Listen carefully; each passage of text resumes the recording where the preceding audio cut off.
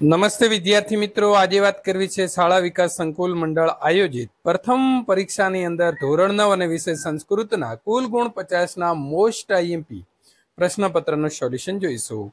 પ્રથમ વાત કરીશું, વિભાગ એ ગદ્ય વિભાગ છે. નીચે આપેલો નાટ્યખંડ છે, તેને તમારે માતૃભાષાની અંદર અનુવાદ કરવાનો છે. હવે આપણે જોઈએ, એક ચાતક, શિશુ આસિત તો ચાતકનું એક બચ્ચું હતું. સ એકદા દૃશ્ય પીડિત જનન્ય સમીપમ વજતી વદતી ચ તો એકવાર તરસથી પીડાયેલું તે પોતાની માની પાસે જાય છે અને કહે છે અંબ તૃષા મામ પીડયતી તો માં મને તરસ લાગે છે અહમ જલમ પાતુમ ઈચ્છામી હું પાણી પીવા ઈચ્છું છું અથવા તો બીજો ફકરો આપણને અહીં આપેલો છે, તો બીજા ફકરાનો પણ વિદ્યાર્થી મિત્રો, આપણે એ પ્રકારે જ સોલ્યુશન જે છે એટલે કે અનુવાદ મેળવીશું. કૃષક વૃદ્ધ મરણાસન ચ આશિત તો ખેડૂત ઘરડો અને મરણ પથારીએ પડેલો હતો. તસ્ય સમીપે સ્થિત તસ્ય પુત્ર, તસ્મે કૃષકાય કથયતી. તેની બાજુમાં રહેલા તેના, તેનો પુત્ર તે ખેડૂતને કહે છે, તાત અધઃ માર્ગે મયા ધનુષ્ય, ધનુષ્યત પ્રાપ્ત. તો પિતાજી, આજે માર્ગમાં મને પૈસાની થેલી મળી. તસ્ય દર્શનાત આનંદ જાત. તો વિદ્યાર્થી મિત્રો આગળ આવશે. કે તેને જોતા, અહીંથી આપણે લખીશું, તેના જોતા મને ખુશી થઈ. તેન મધ્યમ દારિદ્ર્યમ નષ્ટમ ભવિષ્યતી. તેનાથી મારી ગરીબાઈ દૂર થશે એમ વિચારીને. ઇતિ વિચાર્ય ધનુષ્યત ગ્રહણાય અહમ હસ્તમ પ્રાસરાયમ. વિચારીને પૈસાની થેલી લેવા માટે મેં હાથ લંબાવ્યો. કિંતુ તદેવ મયા ભવદ્ય ઉપદેશ સ્મૃત પણ ત્યારે જ મને આપનો આ ઉપદેશ સંભળાયો અનસ્ય ધનસ્ય ગ્રહણમ અસ્માકમ કુલાચાર ન ઇતિ બીજાના ધનનો સ્વીકાર કરવો એ આપણા કુળની પરંપરા નથી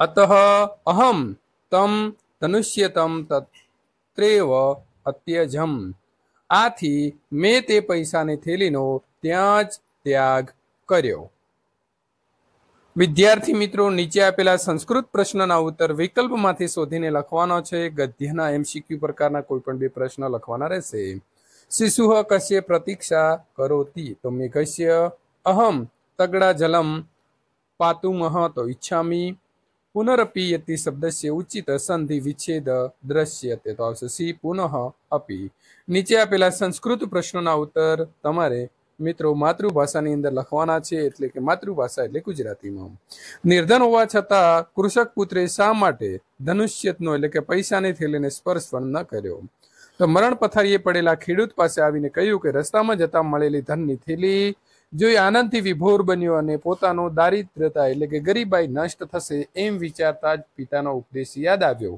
કે બીજાના ધનનો સ્વીકાર કરવો એ આપણા કુળની પરંપરા નથી. જેના કારણે ખેડૂત પુત્રે ત્યાં થેલીનો ત્યાગ કર્યો. ચાતક શિશુએ તળાક જળ શા માટે ન પીધું? તો તરસ્યું ચાતક શિશુ તળાવનું પાણી પીને તૃષા શાંત કરવા તૈયાર થયું. પરંતુ માતાએ મેઘ જળ સિવાય અન્ય જળાશયનો પ્રાપ્ત જળ ન પીવાય એવી પોતાની કુળ પરંપરા આચારને સમજાવતા તેણે તળાવનું પાણી ન પીધું. નીચે આપેલો ગદ્યખંડ વાંચીને પ્રશ્નોના ઉત્તર આપો.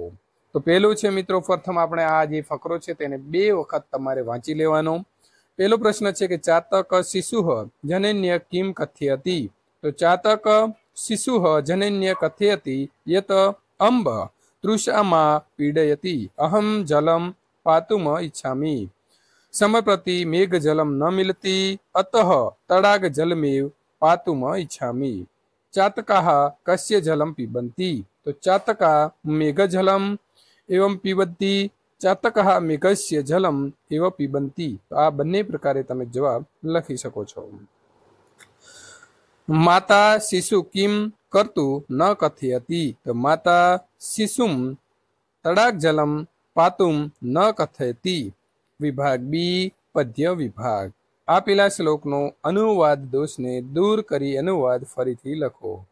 તો મિત્રો, જો પ્રથમ શું છે કે આપણને અહીં જે શ્લોક આપ્યો છે તેનો અનુવાદ છે અને એનો જવાબ અહીં નીચે છે. એટલે આપણે જે નીચે છે તે લખીશું.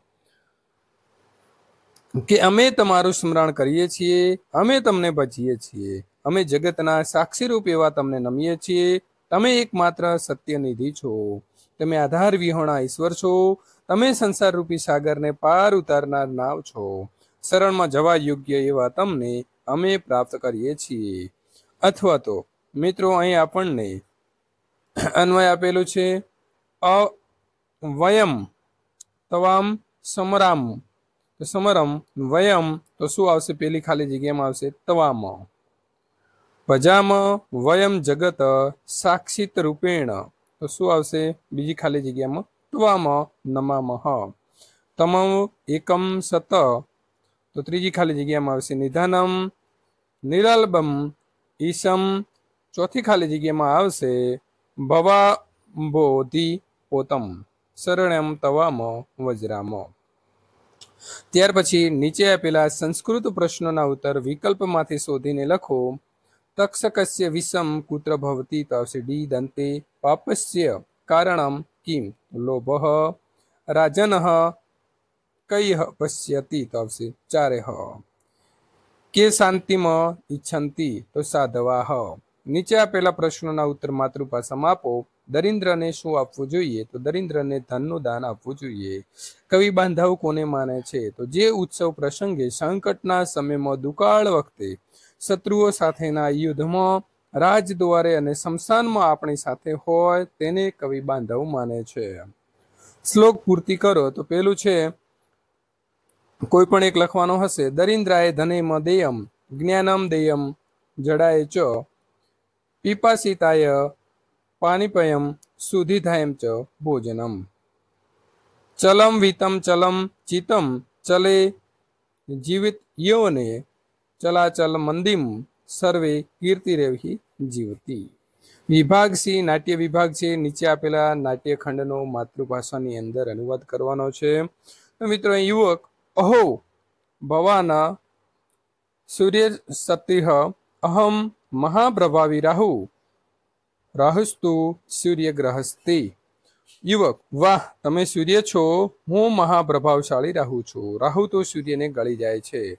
ઓજહ કૃચિત ઉચ્ચે તો જરા ઊંચે સાથે બોલે છે, ભવાના રાહુ ચેત અહમ રાહુ રૂપાય તુભ્યમ દાનમ દાસ્યામી. દાનગ્રહેણ ત્વયમ ગર્વ નૃત્ય શાંત ભવિષ્યતિ. જો તમે રાહુ હો, તો હું રાહુ રૂપી રહેલા તમને દાન આપીશ. દાન લેવાથી તમારો આ ગર્વ નિશ્ચિત રૂપે શાંત થશે. તો ઈવો વૈશ્ય ચાતુર્યણે તો હસીને ચતુરાઈથી યદિ ભવાન દાની તહિર અહમ સંતુષ્ટમ જો તમે દાતા હો તો હું સંતુષ્ટ છું ભવત દાનસ્ય પ્રયાસ નિષ્ફલમ ભવિષ્યતિ તમારા દાનનો પ્રયત્ન નિષ્ફળ જશે સર્વતઃ અલુબ્ધ અહમ ભવતઃ દાનમ ન ગ્રહિષ્યામી સર્વે રીતે નિર્લોભી હું તમારું દાન નહીં લઉં અથવા તો બીજો અહીં ફકરો આપણને આપેલો છે, તે ફકરાનો વિદ્યાર્થી મિત્રો આપણે ઉપરનો જે છે તે અનુવાદમાં જવાબમાં આપેલો અનુવાદ જે છે તે લખવાનો છે ત્યાર પછી આ વાક્ય કોણ બોલે છે? તો એ તમારે સૌ પ્રયત્ન મિત્રો, તમે ત્રણે ત્રણ વાક્ય વાંચશો એટલે તમને યુવક, ભોજ કે શર્કરા કે સંન્યાસી બોલે છે, તેના જવાબ આવડી જશે. નીચે આપેલા પ્રશ્નોના ઉત્તર માતૃભાષામાં લખો ધારા દેશની સી વિશેષતા હતી. બીજો પ્રશ્ન અહીં છે રાજા ભોજ અને યુવકનો વિવાદ ક્યારે અટકી જાય છે અને શા માટે? તો બંનેમાંથી કોઈ પણ એક પ્રશ્નનો જવાબ તમારે લખવાનો રહેશે. કૌંસમાં આપેલા પદોને ઉપયોગ કરીને વાક્ય બનાવો. ભોજ પ્રજામાં પ્રિય હતો, તો ભોજ પ્રજાસુ પ્રિય આસિત. ધારા દેશમાં ગુણોની પૂજા થાય છે, તો ધારા દેશે ગુણાનામ પૂજા ભવતી. અગ્નિ મુદુગરને બાળે છે, તો વહી મુદુગર દહતી. વ્યાકરણ વિભાગની વાત કરીએ તો અહીં સમાનાર્થી શબ્દ લખવાના છે, માનવ તો મનુજ વિરુદ્ધાર્થી શબ્દ પ્રસિદ્ધ તો આવશે અપ્રસિદ્ધ રૂપમાંથી વર્તમાન કાળનું રૂપ શોધીને લખવાનું છે તો આવશે શિક્ષિત નીચે આપેલા રૂપોમાંથી સામાન્ય ભવિષ્ય કાળનું રૂપ શોધીને લખવાનું છે તો આવશે દાસ્યથ પુલિંગ શબ્દ શોધીને લખવાનો છે. તો મિત્રો તમારે કોમેન્ટ બોક્સમાં જવાબ જે છે તે આપવાનો છે અને નીચે આનંદ જનની અને વૃદ્ધ એમાં સ્ત્રીલિંગ શોધવાનો છે નપુસકલિંગ શબ્દની વાત કરીએ તો આવશે સુવર્ણમ. રેખાંકિત પદનો કૃદંત જે છે તે ઓળખાવો તો ગંતુ. તો આવશે ગંતુ એટલે હેથવર્ત કુદંત. સંધિ છોડો. તો આવશે સૌભદ્ર પ્લસ ગ્રહણમ. સંધિને જોડો તો આવશે તચ્છેક્યમ. સંયુક્ત વિભાગ નીચે આપેલા ગદ્યખંડને વાંચીને પ્રશ્નોના જવાબ આપવો તો મિત્રો, લક્ષ્મી ગરહ કહ આસીત. તો લક્ષ્મી ગરહ દ્રવિડ દેશીય ક્રચિત, વિદ્વાન આસીત. લક્ષ્મી ગરહ કસ્માત દેશાત આગત. તો લક્ષ્મી ગરહ દ્રવિડ દેશાત આગત. ભોજરાજસ્ય સભા કેન પરિભૂતા ઇવ સૂર્યમેવ શોભામાનમ લક્ષ્મીધર નામ વિદ્વાસમ દ્રષ્ટવા ભોજરાજસ્ય સભા પરિભૂતા ઇવ.